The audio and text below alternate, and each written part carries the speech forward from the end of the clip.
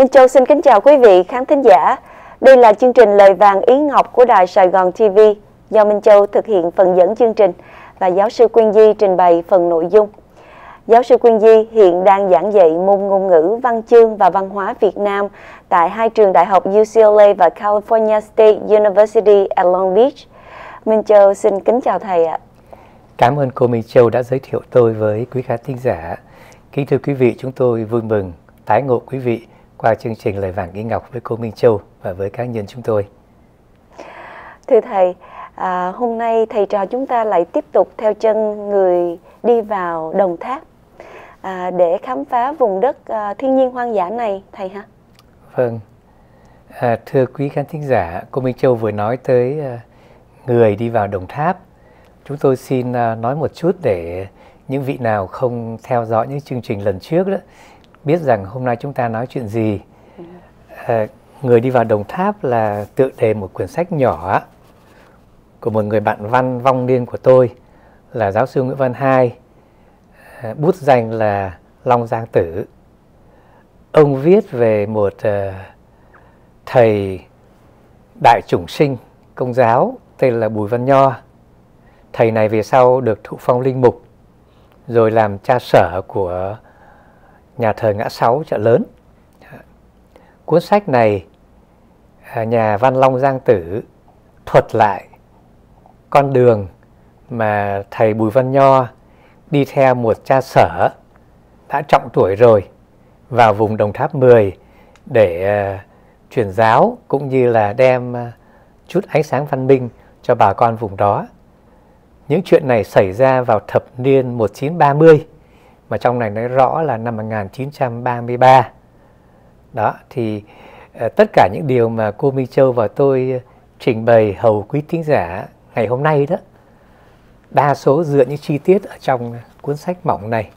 Tôi xin lỗi quý vị cuốn sách này thì không được sạch sẽ cho lắm nhưng với tôi thì quý lắm bởi vì sách cũ mà người viết là bạn tôi mà trong đó may mắn tôi lại là người ờ, có viết một chút ngắn trong phần giới thiệu cuốn sách bởi vậy với tôi là quý.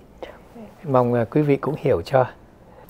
Khi mà viết về vùng đồng tháp 10 này đó nhà văn long giang tử viết có duyên lắm. Ông viết như thế này. Trong những khi chớp bể mưa nguồn hay rông to gió lớn các sinh vật bám sát vào mặt đất hay núp dưới lùm cây bụi cỏ người ta thì ẩn thân dưới mái tranh hay ở trong một chiếc thuyền che kín bằng cà giàn một điếu thuốc lá cũng có thể sưởi ấm cõi lòng qua cơn lạnh lẽo. Có người quanh năm chẳng khi nào mặc một cái quần dài hay một cái áo mới sạch. Thành thị phồn hoa họ không bao giờ biết đến và không tìm hiểu suốt cả đời. Những người ở khắp nơi đến để trao đổi nhu cầu và khai thác nguồn lợi thiên nhiên, khai thác sinh lực của họ mà làm giàu, còn chính họ chỉ là những cái rễ lông hút nguồn sống tự lòng đất cho bao nhiêu cây đại thọ của xã hội đại chúng. Họ là lớp người vô sản, theo gió ngàn phương đến đây làm ăn, từ đời ông tới đời cha và không hẹn một ngày về xã hội văn minh nữa. Đó là đoạn ông viết về con người của vùng Đồng Tháp. Đó. Bây giờ cô Minh Châu xem rằng ở trong uh, cuốn sách tôi vừa giới thiệu đó. Dạ. có đoạn nào hay hay mà về Đồng Tháp cảnh thiên nhiên, con người, phong tục tập quán, món ăn. Cô đọc cho chúng tôi nghe với. Dạ vâng ạ. Và thưa thầy đây là đoạn đối thoại giữa thầy Nho và ông Cát ạ. Ông Cát là linh mục đó phải không? Dạ, ông linh mục ừ. Cát ạ. Thầy Nho hỏi, Đồng Tháp họ lấy nghề gì làm gốc? Ông Cát vội khoát tay dường như can gián. Thầy nhẫn nại, chúng ta còn nhiều thì giờ, thể nói chuyện cho vui. Thầy sẽ hiểu qua các sinh hoạt ở đây vừa lý thú vừa lạ lùng để chúng ta đem lòng yêu mến quê hương. Ở Đồng Tháp, nghề làm cá là nghề chính vì thắng nước nó là một bể nước, một vận động trường của cá. Các nghề khác là phụ thuộc, nhưng tất cả các nghề đều có cái lý thú riêng. Tôi sẽ lần lượt kể ra cho thầy nghe chơi. Bắt đầu tháng Giêng, người ta cày đất khô ở chỗ đất cao cho tới tháng 3 xạ lúa. Trước khi cày phải đốt cỏ rồi mới cày, xạ liền đó bừa cho lúa lấp xuống dưới kẻo chuột chim ăn hết phải xạ trên đất cao trước Sau khi xạ một ít lúa dưới đất thấp thí cho chuột ăn, rồi làm ở trên cao mới yên. Lúa xạ là giống lúa thường chịu đựng nước sâu, nước lên bao nhiêu, lúa vượt lên bấy nhiêu. Chừng nước hạ xuống, lúa lần lần đâm chồi trổ bông. Người ta thường trồng lúa vàng, nàng rừng, nàng co, tàu binh, trừng hưng. Trên đất phù sa đồng tháp thường có những cỏ, cỏ sắt, cỏ lông công, cỏ bắc, sậy. Nhưng trồng lúa một phần nào thôi, lúa không đủ cung phụng cho nhu cầu. Họ phải đi hái lúa ma lúc thiếu lúa ăn. Gọi lúa ma vì lúa chín lẻn và rụng lén ban đêm. Ở đây có người không gọi là lúa ma để tỏ lòng biết ơn trời, vì trời cho lúa mọc lên ngôi nhà nghèo, cho nên họ gọi là lúa trời. Lúa trời tức là lúa của thiên nhiên, mọc trên cánh đồng mênh mông năm này qua năm khác. Cọng lúa bò dài ra, mọc chồi vượt lên nước, trổ bông. Bông lúa trời có hột thóc rất thưa, mỗi ngày một bông chỉ chín đôi ba hột. Muốn hái lúa trời, người ta làm một cái sào ngắn, cắm giữa then xuồng, cột hai sợi dây thòng xuống. Cuối sợi dây vừa tầm người ngồi, cột hai khúc cây chừng một thước. Người ta cầm hai cây đã treo trên sợi dây, vừa gom ngọn lúa, vừa đập cho lúa rơi xuống xuồng, trong khi một người cứ chống xuồng vào đám lúa. Mỗi bông rụng một hai hộp trong xuồng, thế là từ khuya đến sáng đầy xuồng lúa. Lúa trời này có một đặc điểm là muốn hái lúa trời phải đi thật khuya. Khuya quá lúa chưa chín, khuya vừa thôi và hễ mặt trời mọc lên thì lúa rụng hết, không còn đâu mà hái. Sự kiện này không khác nào câu chuyện Do Thái. Khi ở trên sa mạc, Chúa Trời cho thứ bột trên trời rơi xuống mà Do Thái gọi là manna. Dân lượm đem về nhồi làm bánh ăn. Đứa nào hăng hái đi sớm quá, manna chưa rơi xuống. Đứa nào biến nhát ngủ nướng, mặt trời mọc lên, manna tiêu hết trọi. Hôm ấy đói, đứa nào tham tích trữ qua bữa sau manna thúi ùm. Chỉ trừ có thứ sáu thì lượm được bằng hai, vì sáng thứ bảy Chúa dạy do Thái phải nghỉ, cho nên manna không rơi xuống, và manna lượm hôm thứ sáu để qua thứ bảy không hư hao gì cả. Hột lúa có cái đuôi thật dài, nên khi chín rụng xuống nước, cá không dám ăn.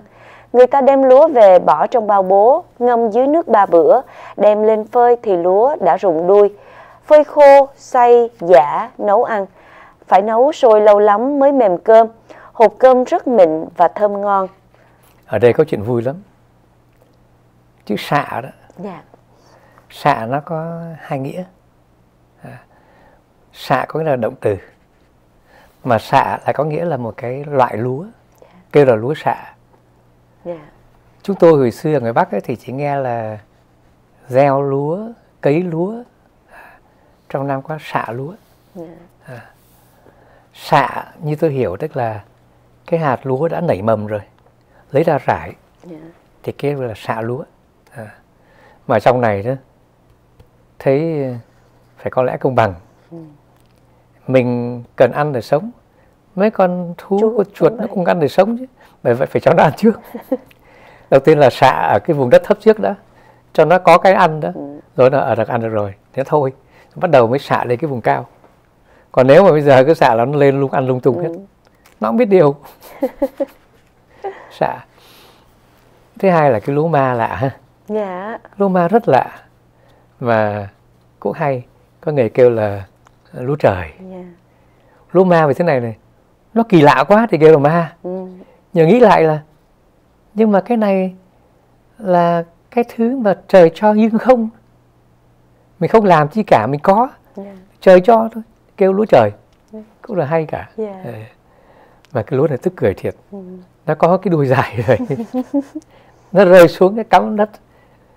Chuột không dám ăn. Không dám. đâm thủng bụng. Bây giờ không ăn được. Dạ.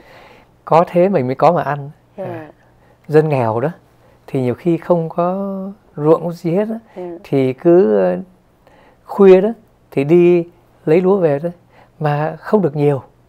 Phải làm vất vả lắm mới có. Tại vì một cọng lúa có ít hạt lắm chứ không có là một cái bông lúa trĩu như là Dạ. những cái lúa bình thường. Dạ. nó ít lắm. Thành ra phải lấy rất nhiều về mới được. Nhưng mà có vất vả thì có được hưởng.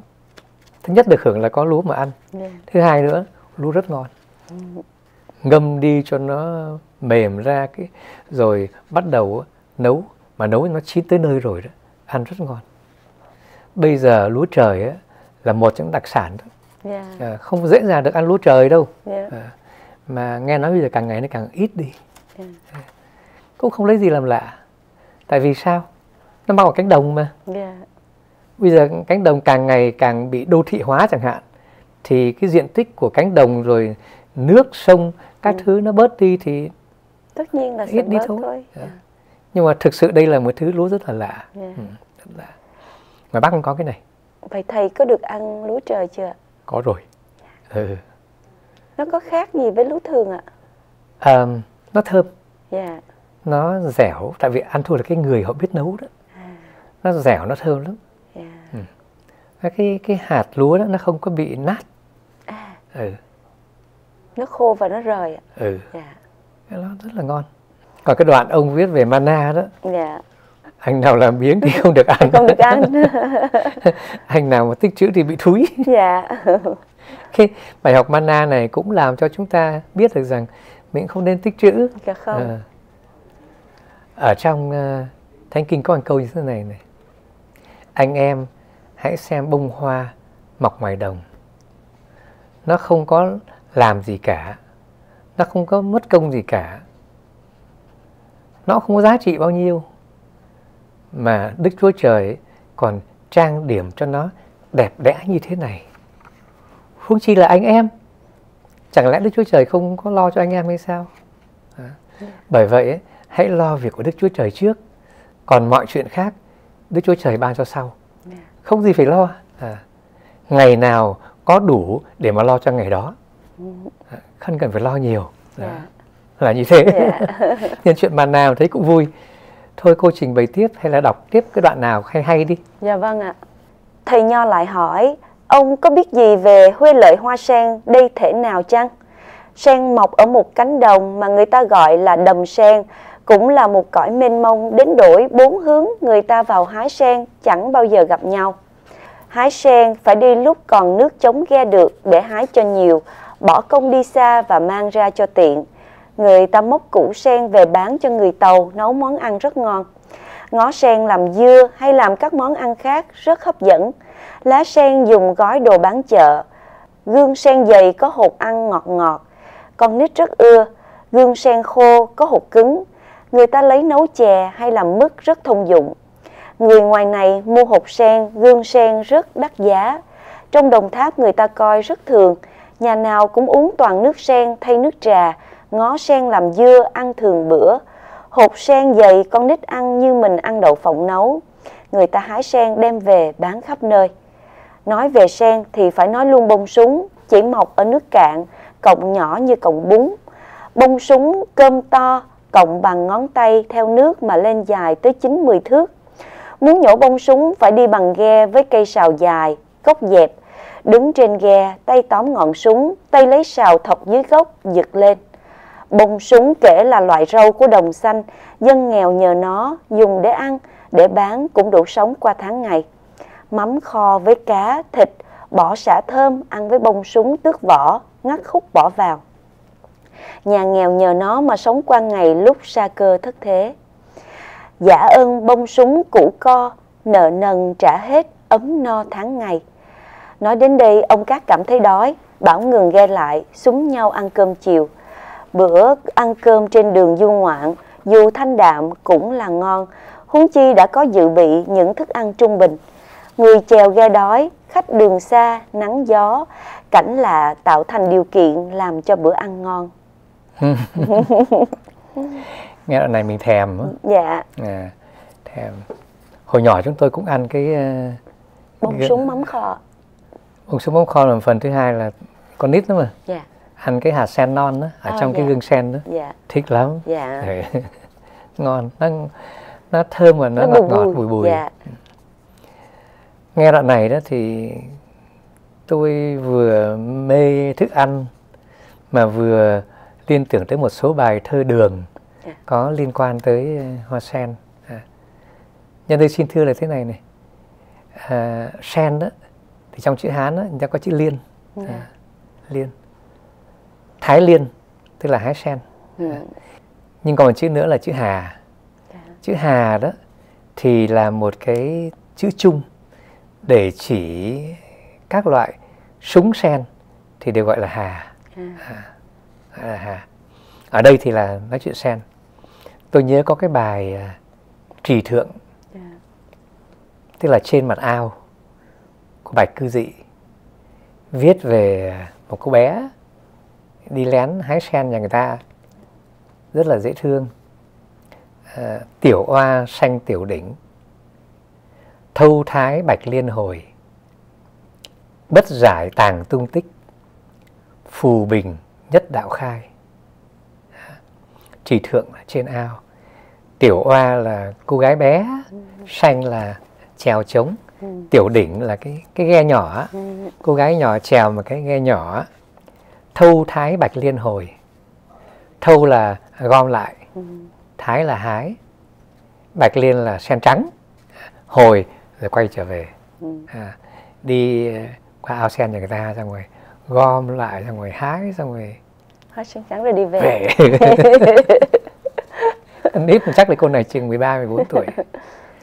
Bất giải tàng tung tích nhưng mà không có biết cách để mà giấu cái vết tích của mình. Ừ. À, phù bình nhất đạo khai phù là nổi bình là bèo nhất là một đạo là con đường khai là mở ra. Trên mặt bèo nổi mở ra một con đường. Tại cái mũi ghe đi tới đâu đó thì bèo nó giạt qua hai bên Ừ. hết. Người ta muốn tìm cô này bắt lại dễ quá. Dễ. Con nít mà. Dạ. nhưng mà đâu có ai bắt đâu. Có thấy thì cũng cười thôi. Dễ thương. Ừ bài thứ hai đó, cũng của bạch cư dị, cũng hái sen. Nhưng mà tựa đề là thái liên khúc khúc hát hái sen. Lăng diệp oanh ba hà triển phong. Hà hoa thâm sứ tiểu thuyền thông. Hà đấy. Phùng lang dục ngữ, đê đầu tiếu. Bích ngọc, tao đầu, lạc thủy trung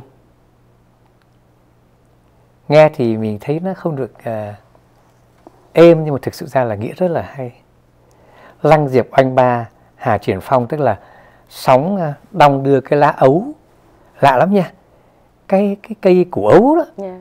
Mọc và sen. đó hay mọc chung với nhau đó Dạ. Ờ, sóng đong đưa lá ấu hoa sen thì rung rinh trước gió Đó. hà hoa thâm sứ tiểu thuyền thông giữa đám hoa sen rậm rạp một chiếc thuyền nhỏ lướt qua Đó.